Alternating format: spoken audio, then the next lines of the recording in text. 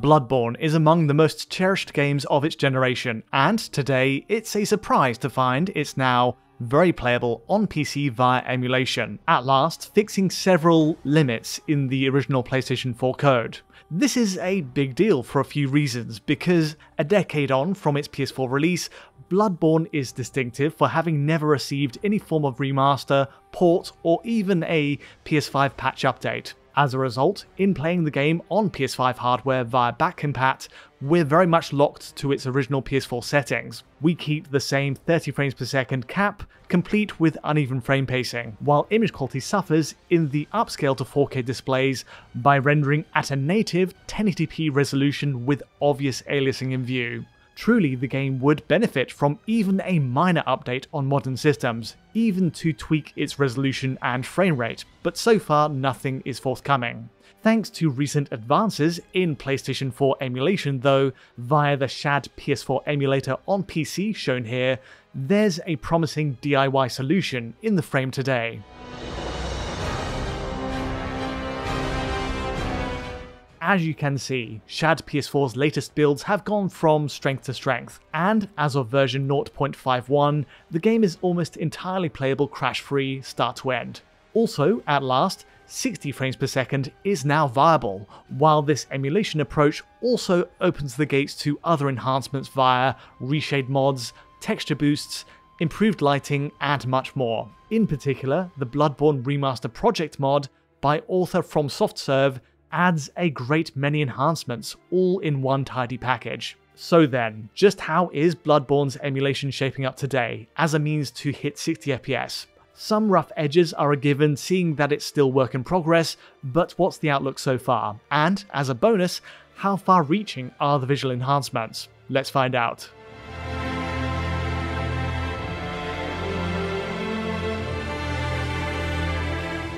Before we get into it, let's take a quick look at the setup. Shad PS4 version 0.51 is in use here, via a custom branch from developer Raphael the Great and put together by Diego Lix29. I experimented with multiple different builds to find one that ran in a stable fashion, and ultimately, this one worked best for my R7 5700X machine paired with an RTX 4080. The only tweak I'd regard as crucial is this mod, the Vertex Explosion Fix. Installing this sadly disables customization to your character's face in the creation tool at the start, which is, right now, a cause for visual bugs without the mod in place. Otherwise, you'll often see these huge bursts of geometry spilling from your character's face without this fix. Beyond that though, everything you might need is included in the emulator itself. The essential bit being this patch menu, which allows 60fps gameplay to be toggled on, plus 60fps cloth physics, and even res boosts at increments going up to 4K. It also gives us a means to remove chromatic aberration post-processing, which was fairly heavy-handed on the PS4 release and perhaps not to everyone's taste. For the purposes of testing then, I removed that effect and settled for 1152p for a small resolution boost with 60 FPS in place. Let's hit the nail on the head to start with frame rate testing. Achieving 60 FPS is a dream come true for Bloodborne fans, and I'm glad to say that emulation is making serious headway in turning that into a reality. The 30 FPS cap with uneven frame pacing is a famous or even infamous bugbear on its native PS4 release, and if an official remaster were ever to appear, 60 FPS is easily top of the feature wish list.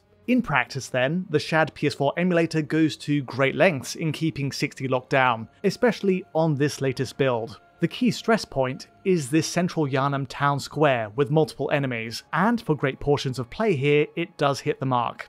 Between my system's RTX 4080 and R7 5700X, it's more often the latter part, the CPU, that's the bottleneck it seems, the result being these sporadic lurches down to the mid 40s. These drops tend to kick in during rapid world traversal or on first striking an enemy, though often restores to 60 FPS a few seconds later. Tellingly, the RivaTuner overlay shows a single CPU core is often being overloaded at these moments, spiking to 100%. Dropping the resolution to 1080p or lower doesn't improve this, and I've also tried multiple builds of Shad PS4 and mods as well to improve it. Still, the game is certainly playable a bulk of the time at 60fps now, and things can only get better with this as a base. It's a huge improvement also over the previous 0.50 build of Shad PS4 in terms of overall performance and avoiding crashes.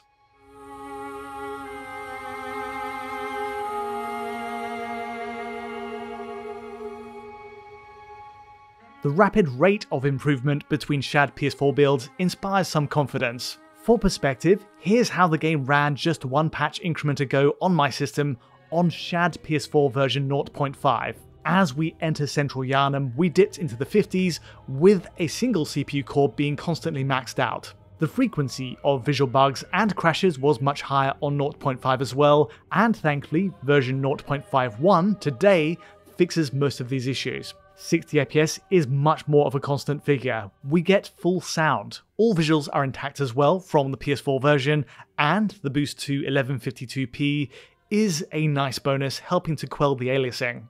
Interestingly, there's options of course to push to even higher resolutions. 1440p is the next rung up the ladder, and while the image quality upgrade stands out immediately, it does sadly crash after a few minutes on my system. Bumping that to an even more ambitious 1800p using the patch menu, we get an even more pristine, beautifully crisp image. This takes a predictably greater toll on my system, however, putting us right in the mid 40s during play, and again, eventually leads to a crash in my experience. Your mileage may vary, of course, but the general recommendation from my view is PS4's native 1080p will get the best results, while at a push, 1152p works well too.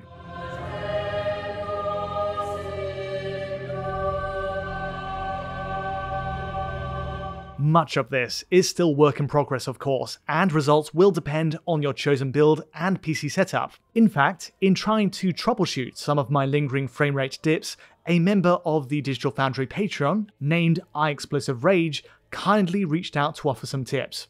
Thanks and full credit goes their way for suggesting the Vertex explosion fix, and also the Shad PS4 build I ended up using iExplosiveRage also sent footage of the game running even more optimally, using an Intel 12600K CPU, an RTX 4080 and 32GB of RAM.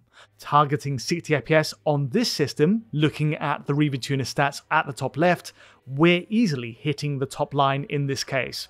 Through all of the opening central Yharnam areas, each boss it all flows with only the occasional blip. All of which is to say, it is very much feasible to get that lock with just the right setup and correct build. Impressively, in running the game unlocked to 120 frames per second, we're even seeing that figure rise to 90 FPS or so in certain moments. It's impressive to see it all flowing so smoothly, even if some trial and error is needed to get there.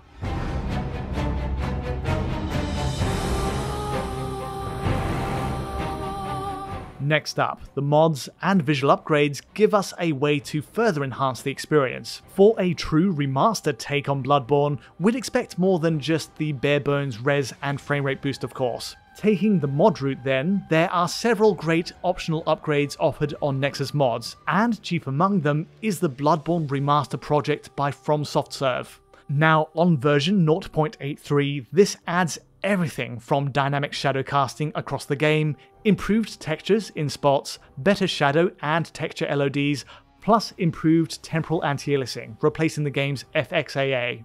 In later areas, there's even occasional uses of parallax occlusion maps, not enabled in the official game. Added to this, the same author offers a reshade profile, allowing for a simulated ray traced GI and improved ambient occlusion. These may not be to everyone's tastes, admittedly, and many of these reshade tweaks can be toggled on the left side overlay as you play. But just to show an example of what's possible, I've used this reshade profile exactly as presented by the author.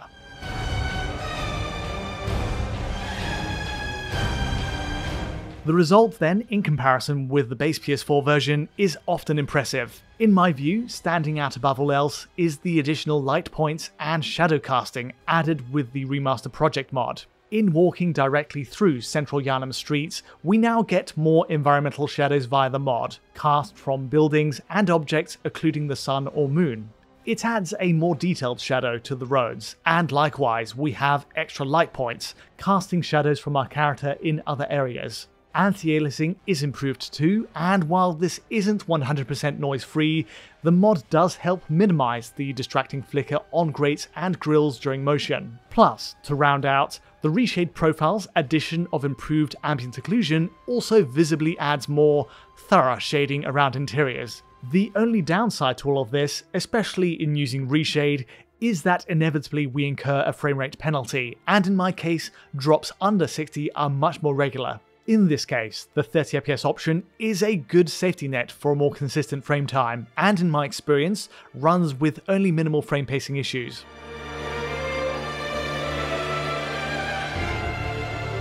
Again, all this is work in progress, but what progress it is. That PS4 emulation is possible at all is an incredible feat by the team behind Shad PS4, and it appears the absence of an official Bloodborne remaster is helping to galvanise the movement. It's become a real point of focus for fans of the game, to see if it's simply possible. Yes, there are imperfections with Bloodborne's emulation on PC today, and there are outstanding crashes, but the state of it right now is still very encouraging. At the very least, it demonstrates the direction we'd want an official remaster to move in. Improving the frame rate and resolution are just the start. Pushing out the draw distances, improving the lighting, textures, and anti-aliasing are all good ideas we'd love to see in a final product.